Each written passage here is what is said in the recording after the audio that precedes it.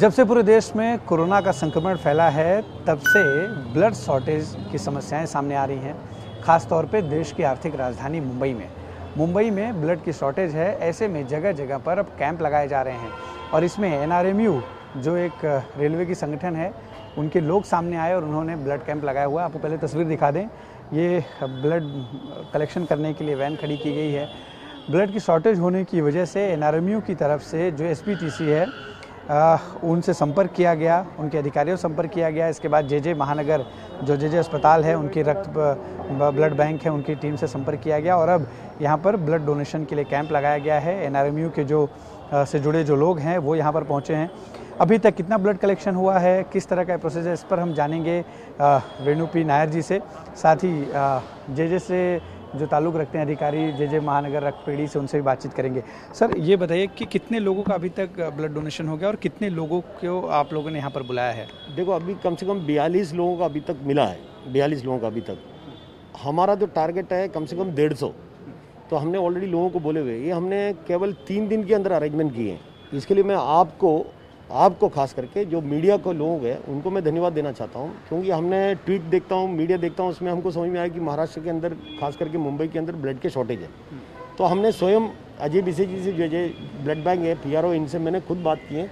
मैं बोला, अगर आप तीन दिन के अंदर यहाँ अगर आ सकते हैं तो हम लोग तुरंत आपको अरेंज करा के देंगे। उन्होंने तुरंत कहा कि हम सोमवार को आएँगे, हमने जो भी सरकारी जो परमिशन लिए, तुरंत हम लोगों ने आज लगा दी हमने सारे लोगों को, हमारे जो अलग अलग शाखा हैं आपको कहता हूँ नेशनल मजदूर यूनियन सबसे बड़े ताकतवर यूनियन है मध्य रेल और कोंगड़ रेल की।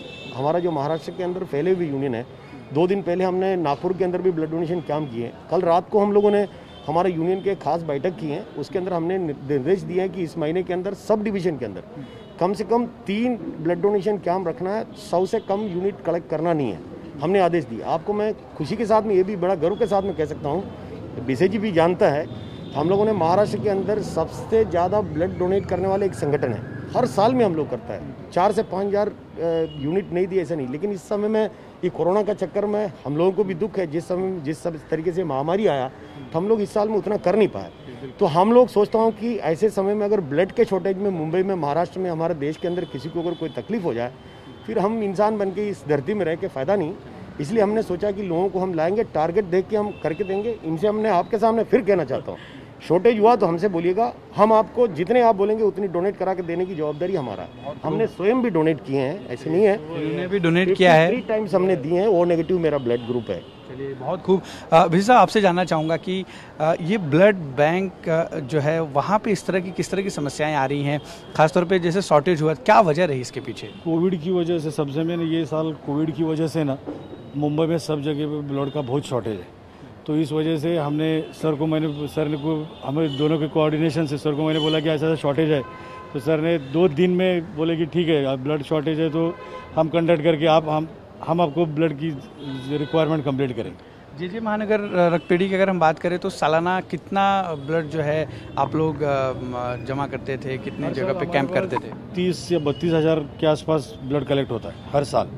और ये मुंबई में सबसे बड़ी ब्लड बैंक है। और यहाँ से मुंबई के सब blood bank like K M J J Nair Sion सब जगह पे यहाँ से ब्लड जाता है।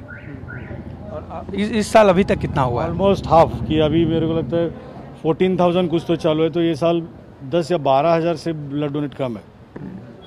इसकी वजह से मुश्किलें आ रही हैं इस वक्त लोगों को? बहुत मुश्किलें आ रही है लोगों को ब्लड नहीं मिल रहा है। इसी वजह से हमने सर को रिक्वेस्ट करके ये ब्लड डोनेशन कैम्प लगा के जितना हो सके उतना आपका सहयोग करके ये शॉर्टेज कम करने की ज़रूरत देगा हाँ, और भी और भी आप लोग कहीं संपर्क कर रहे हैं ताकि जैसे एनआरएमयू सामने आया ऐसे और भी कई यूनियन हैं अलग अलग उसके तो उनसे भी संपर्क कर रहे हैं आप अभी नवरात्र में नवरात्र मंडल्स है यूनियंस है क्योंकि अभी फ़िलहाल कॉलेज बंद है कारपोरेट सेक्टर बंद है ट्रेन में लोग आ जा नहीं सकते इसलिए स्टेशन पे भी नहीं ले सकते।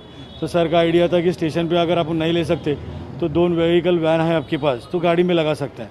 तो हम दोनों ने डिस्कस करके वो एग्री कर दिया और सर ने बोला कि मैं है तो आप डरो मत इसलिए हमने ये ब्लड डोनेशन कैंप लिया ये कोरोना काल में ब्लड डोनेशन को लेकर प्रिकॉशंस ले रहे हैं ताकि लोगों को इस तरह के संक्रमण से बचा जो गवर्नमेंट ने गाइडलाइंस दिया है सोशल डिस्टेंसिंग या अंदर सैनिटाइज करके वैसा हम वो सब गाइडलाइंस फॉलो कर रहे हैं। बहुत बहुत शुक्रिया बातचीत के लिए।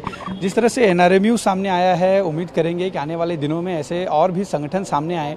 ताकि ब्लड की जो शॉर्टेज है मुंबई में और देश में भी कई जगहों पर इस तरह की परेशानियाँ सामने आई हैं। अगर इस तरह की शॉर्टेज को ख़त्म करने की कोशिश अलग अलग संगठनों द्वारा, लोगों द्वारा की जाती है तो रक्तदान, जिसे हम कहते हैं एक महादान है, उसकी पूर्ति हो सकेगी। कैमरा पर्सन जतिन बांद्रे के साथ अश्विन पांडे, टीवी नाइन भारतवर्ष, मुंबई।